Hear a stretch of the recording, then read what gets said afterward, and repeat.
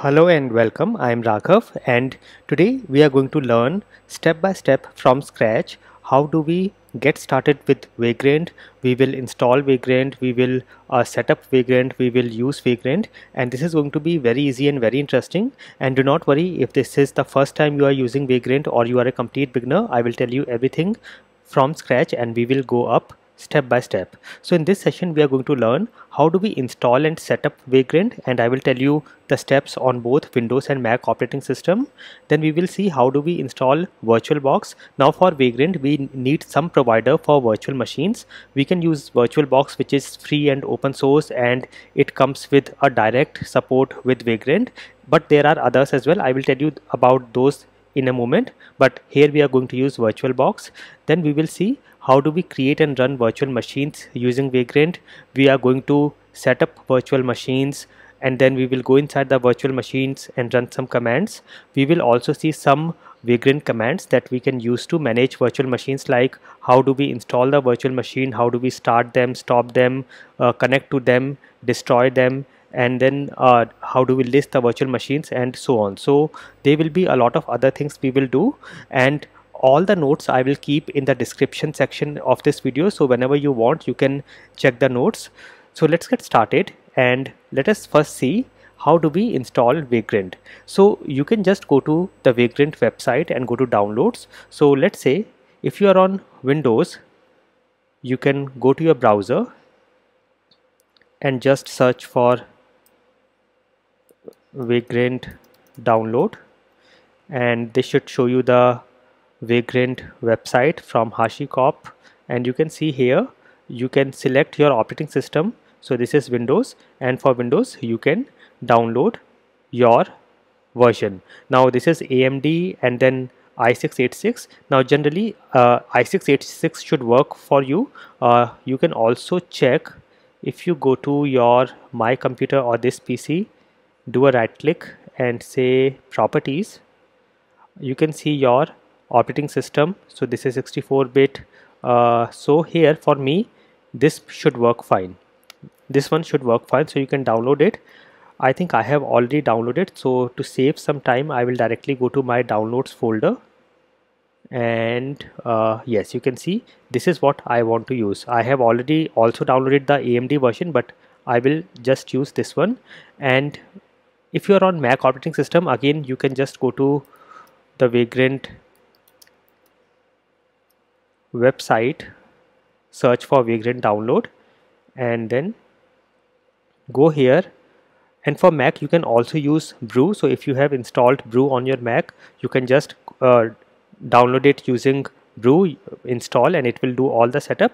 Or uh, otherwise you can just get the binary for Mac OS from here. So you can download this like the DMG file and that will work. So let us first go to the Windows. This is my Windows and I have already downloaded the file, the executable file for Vagrant and I will run this. And this is the installation and setup wizard. You can read and then accept the license. And here is the location. So by default it will go in C drive but if you want you can change this. So let's say I want to use a different drive. I want to put my vagrant here. So I will just create a new folder here. I will say vagrant. I pressed control shift and N key on my keyboard to create a new folder. I'm calling it vagrant and I will give this location here. You can also change click on change and then select and provide the location here or you can also browse from here. So this is D and vagrant. This will be the same thing. And I will say OK and then I will say next and install. So this will install vagrant on Windows operating system. So let it continue here. This DMG file. And then I will double click on the DMG file and this will add Vagrant in my applications. So let me just wait for this. Yes you can see it is verifying vagrant. Now if you are having brew I would suggest you just uh, use the brew command to install vagrant. And now I'll just uh, double click on the package file and this will put vagrant in my applications folder. So here we have got the installer. And I can select and continue. And I will install. So this will complete the installation of Vagrant on my so this is for my Mac. If you have any password set you can give the password. And on Windows also I will just say finish. It is asking me to restart so you can say yes it will restart the operating system. So this is uh, installing on my Mac. And this is done. I'll say close. I don't want to keep the installer so I will remove the installer and this is done. So uh, here we have done on Mac and my Windows system is also restarted. And you can just check here if I go to add remove programs I should find here. You can see Vagrant is here.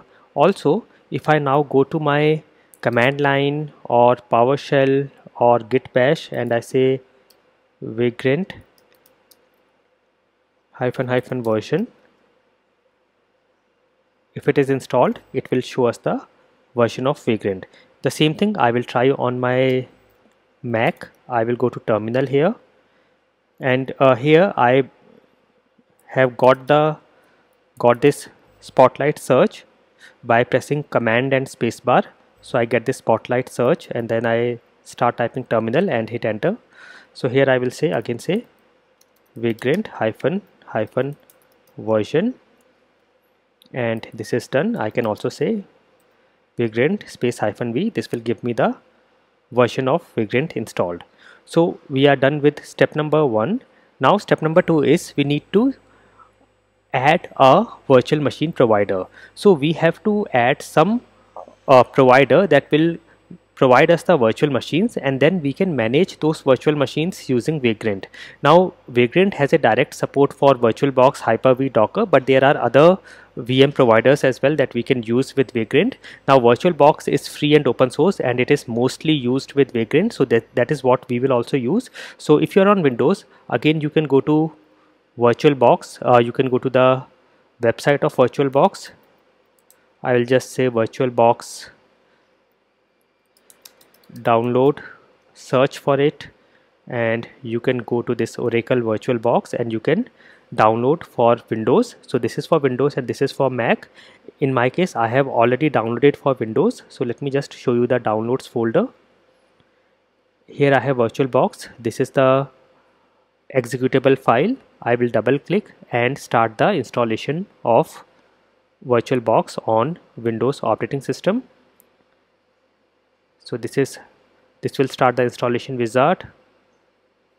And again you can uh, change the location. So I will I don't have enough space on my C drive so I'm going to my D drive and I'm creating a new folder here. I'm again pressing control shift and N key on the keyboard to create a new folder. Uh, I will say this is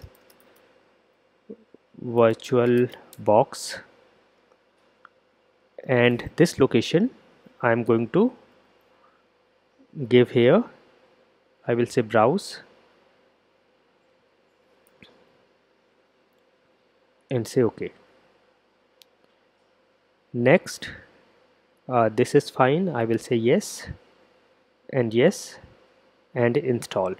So this will do the installation and setup of VirtualBox on Windows operating system. And you can see it is done. We have got all the folders and files of VirtualBox here. Okay. And I will say finish I can also go to the command line. I will exit from here and open a new command line.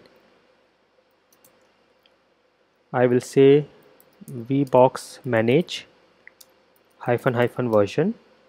Uh, I think this is not recognized. I'll say virtual box hyphen hyphen version. Uh, there is a command. Let me check very quickly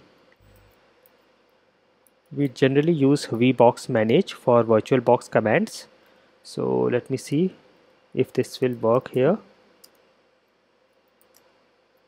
Okay it is not recognized. That is fine. Uh, we will check this. You can also check in the add or remove programs if it is there but here we have virtualbox let us very quickly see on our mac operating system as well if you go to virtualbox download and go to the oracle virtualbox website here we will get the mac host here and this will download the dmg and based on the internet speed uh, this can take some time a minute or so.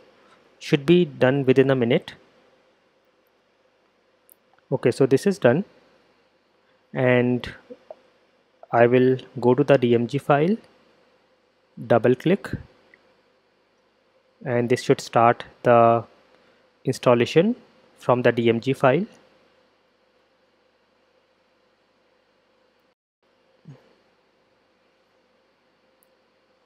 Alright so here I will just move this package to my applications folder and this will copy and then uh, Oracle VirtualBox should be ready for use.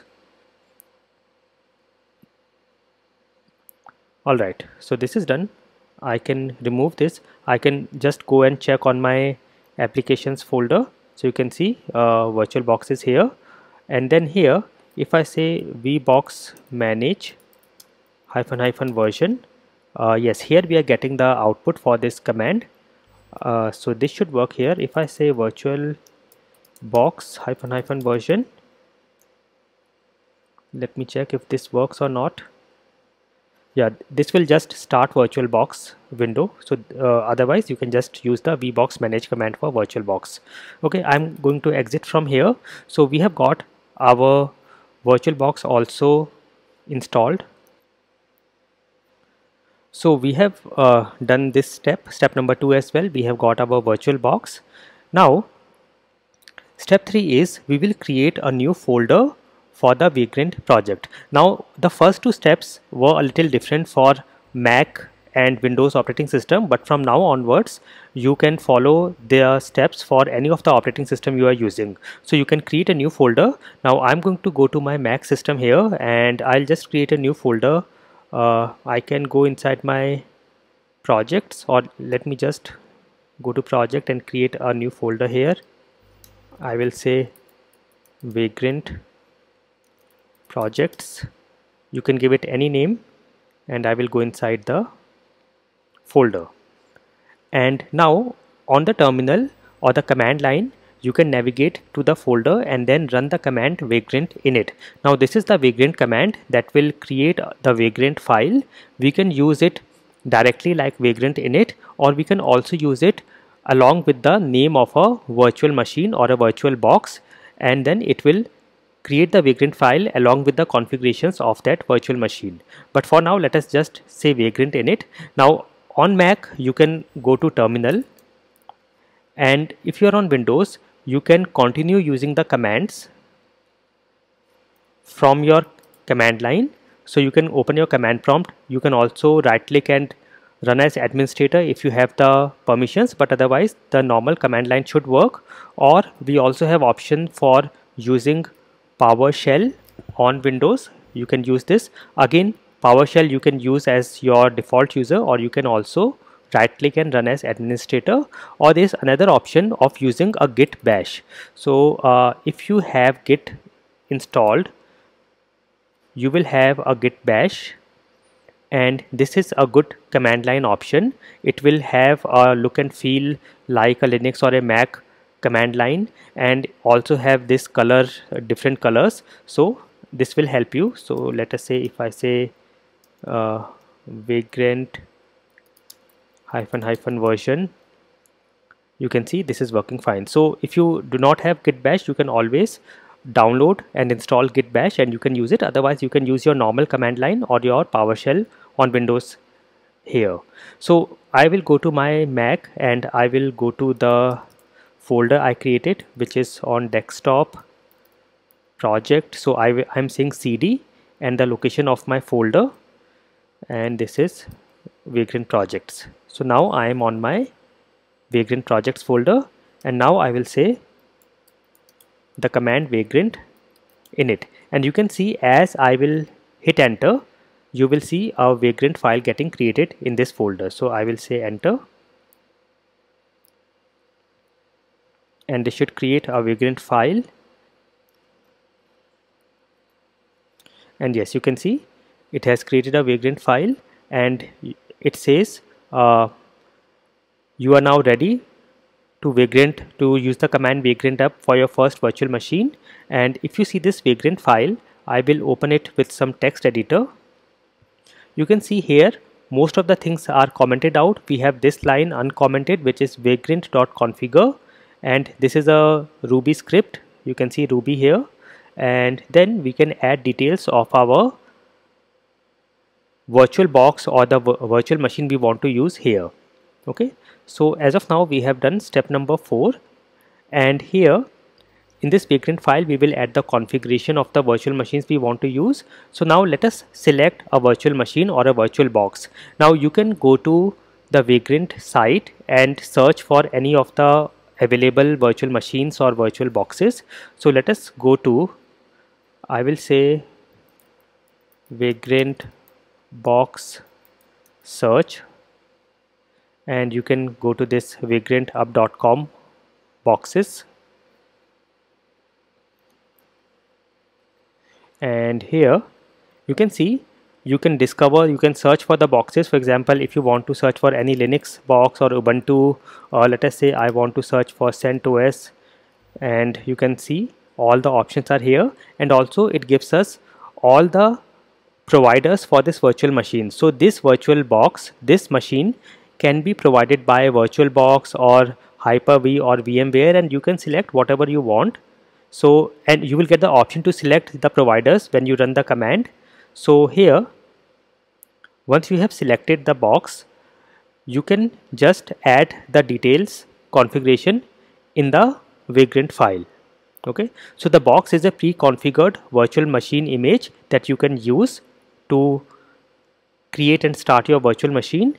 Now let us say I select this CentOS 7 here you can see the configuration that you can add in your vagrant file or you can directly also say vagrant init and then give the name of the virtual box. But if you do this it will uh, you should not be having the vagrant file already created. It will create a new vagrant file along with the configuration for CentOS. And then you can also add it without adding to the vagrant file which I will show you in a moment. But for now this is what we need to copy. So I'll just copy this and go to my vagrant file. And here uh, you can see this command is already added. Vagrant.configure do config. So I will let me make the font larger. So this command is already added. So I'll just go to the end and just before the end command I will paste this config.vm.box CentOS and I will save and close this file. Now so this is an example for the Ubuntu Bionic 64 so you can again see if I search for Ubuntu here you can get the Ubuntu Bionic and other Ubuntu options here. So the one I have shown in the notes is the this one Ubuntu Bionic. So you can see this one. This is provided only by VirtualBox so you can see this is what you can do. This is what is shown in the example. But as of now let us continue with our CentOS. So here we have already added this in our vagrant file. And we can also add the configuration directly while creating the vagrant file. For that we have to say vagrant init and the name of the virtual machine or the virtual box. So if we do this, it should the vagrant file should not already exist. And then we can use this command but if the vagrant file already exists we can also use this command vagrant box add and the name of the box. Now in this case the box will get added to our local system but it will not be added to the vagrant file. I will show you this later. As of now we just have uh, added the configuration in our vagrant file. Step 7 is now we will say vagrant up and that is when it will download and start the virtual machine. So until now we have just added the configuration in the vagrant file. This command vagrant up will start will download and start the virtual machine. So make sure you have saved and closed your vagrant file and I will now say vagrant up and hit enter. Let's see now what happens. So you can see it is showing us uh, all these options so it is getting it from the virtual box. Sometimes it also shows us the options for the providers and it asks us what provider to use. So we can select which provider we want but as of now it is directly getting it from VirtualBox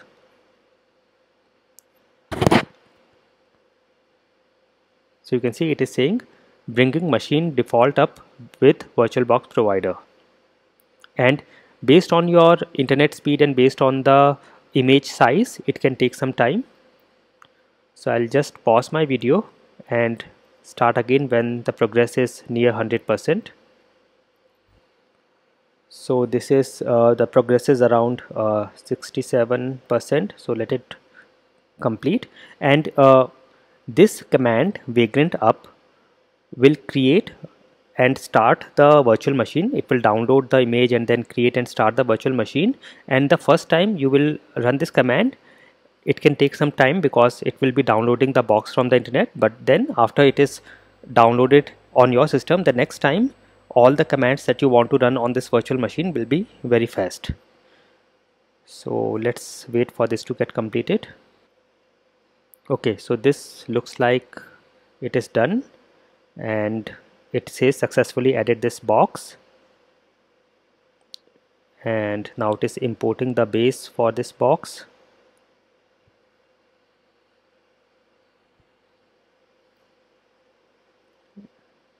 And it will now start.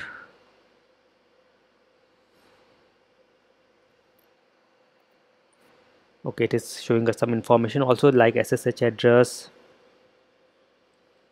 now for this we do not have uh, we have not added any uh, you know authentication methods. If there is a need for any authorization authentication username password all that will go in the vagrant file. But for now we are doing it we are showing a very very simple demo here. So let's wait for this to get completed.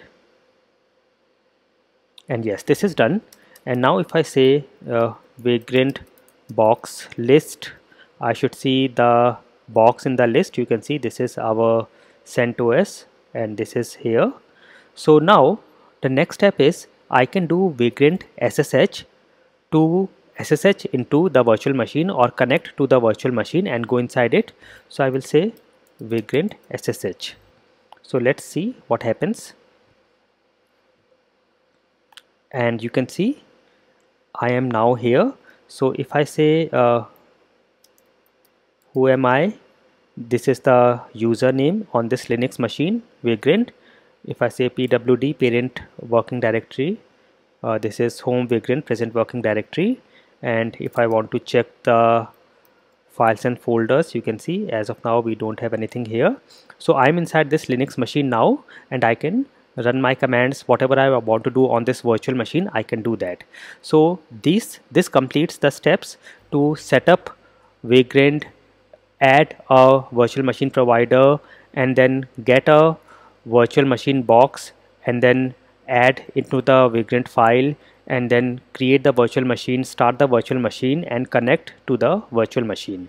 You can try some more uh, options. You can try some linux and ubuntu machines and you should be able to use the virtual machines.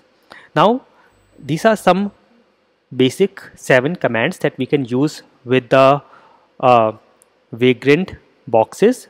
When we say box it is the virtual machine. So when I say vagrant box add and I use the name of the box it will add the box to our local repository but will not add to the vagrant file. And you want to see where do the boxes go. So if you are on Mac the boxes will go in this folder which is your home directory dot vagrant dot d boxes. Let me show you. If I go to this I am pressing command shift and G on my keyboard to bring up this go to folder text box. And here I will go to vagrant. And if I go you can see we have boxes here. And as of now we have this box for the CentOS virtual machine. If I go inside you can see all these details of this virtual box. We also have a vagrant file if I see this vagrant file here it will show me the configuration of this particular virtual machine. And if you're on Windows you can go to your C users whatever user you are using to that particular folder and dot vagrant t boxes. So here if you're on Windows you can go to your now if I go to my D drive where I have created this vagrant folder so you can see these few more folders here. And this is the folder for VirtualBox and you can see the VirtualBox files and folders. But generally it will go in my C drive users. I am the administrator user. And then you can find uh, dot vagrant. As of now we have not added any virtual machine here. But otherwise you will see a folder called dot vagrant and then dot d boxes. You will see your virtual machine boxes. So if I have to add any virtual box I can say I will exit from here from this virtual machine and then I will say let me clear this. I will say vagrant box add and then I can give the name of the box. So let's say if I say this Ubuntu if I want to use this I want to get this box. This is the name of the box. I'll just use this and say like this. And this will add the box. So I will show you here. If I so go to boxes once this is downloaded you will see a folder for this box as well here. Although its configuration will not go in the vagrant file but we can do from there as well. We can add the configuration of this box this one in the vagrant file and then we when we say vagrant up it will download and start the virtual machine. Okay? So again this will take some time. Uh, so let us see the other commands. We have vagrant box list here. We have already seen this. I will open a new tab of the terminal. I will press command T on my keyboard so that I am here. Let me show you other commands while this one is getting downloaded. Vagrant box list. So this will show me all the boxes present on this machine. So as of now we have CentOS 7 here. Also in vagrant whenever you want to get help on any of the command you can say vagrant box. Now I want to see all the options I can have with this command so I can use the flag hyphen hyphen help so you can see as I do this it will show me all the options I can use with the command vagrant box. So I can say add list outdated prune remove repackage update etc similarly if I say vagrant hyphen hyphen help I will get all the options that I can use with the vagrant command. So you can see I can check all these status SSH we have global status all this we can do with the vagrant command okay. So uh, we can list we can check the outdated boxes. I can say vagrant box outdated. If there is any outdated box it will show us here.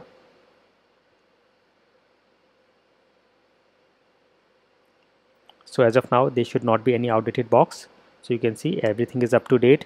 Then if you want to uh, update any box to a new version you can use the command vagrant box update. You can say vagrant box update and the name of the box. Then if you want to repackage a box with a new name you can use this command repackage vagrant box repackage and the box name and then you can give the new name here by using the option hyphen hyphen name. Then if you want to remove the outdated boxes you can say prune vagrant box prune and then if you want to remove the box from your local repository you can say vagrant box remove and give the name of the box like this and it will remove the folder of the box from your local repository. Okay? And you can see now it has also added the ubuntu box. So if i say vagrant box list we have now ubuntu as well here. And here also we can see both of these are here.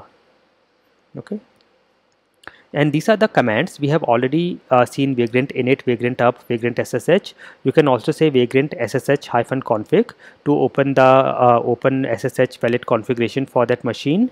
Then vagrant halt will stop the guest machine. You can say vagrant halt. So if i say vagrant halt it will stop the virtual machine. So before you want to uh, once you are done with the your work you can always stop the virtual machine by using vagrant halt. It will gracefully shut down the virtual machine. So you can see it is shutting it down. Then if you want to uh, suspend a virtual machine you can use vagrant suspend. Then if you want to resume a suspended machine we can use vagrant resume. If you want to reload by restarting the machine we can use reload. Then if you want to stop and delete the virtual machine then you can use the destroy command. So it will stop and as well as remove the virtual machine. Then vagrant status will show us the current status of the vagrant environment. If I say vagrant status so let me see what it shows for now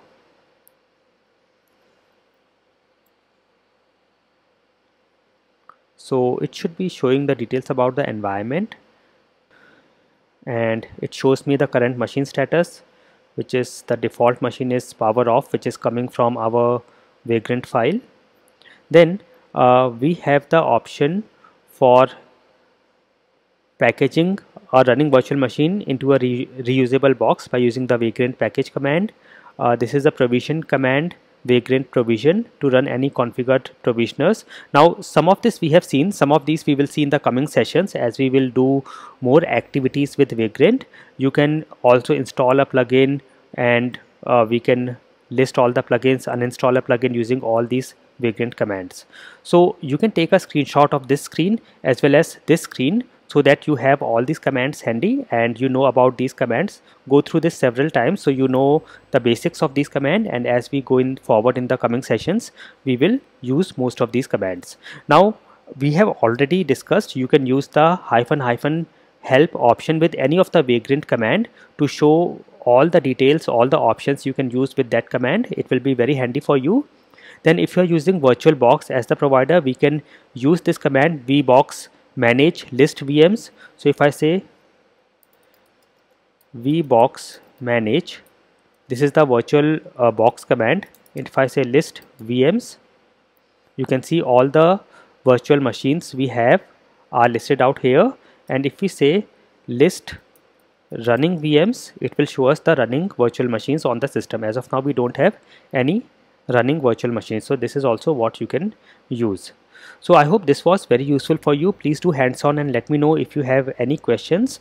Uh, also, uh, you may find a link for the quiz in the description of this video so you can take the quiz and let me know your score in the comment section.